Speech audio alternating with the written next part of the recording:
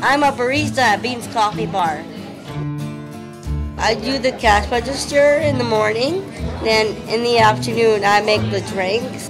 I've been doing uh, a professional job at the drinks.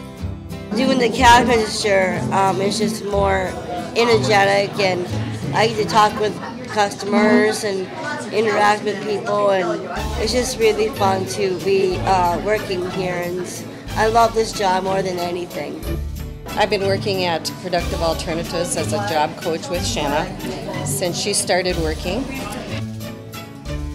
One of the best parts of being a job coach is being able to watch your client progress. That's just been the best part to watch that come about. Doing a good job, Shena. Approached us looking for a place for someone who their dream job was to work at a coffee shop.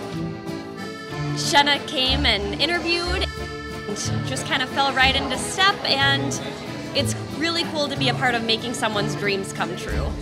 She lights up the front counter and our customers love her. We love having Shena here. I like um, about this job is the people that are nice and with their friendly smiles. And get a pat on the back, you know, just wanting to make sure that we're taken care of and happy. She's a wonderful. person. I have special ladies that comes on Tuesdays and She always says, welcome, sweet ladies, when we walk in. She's just amazing.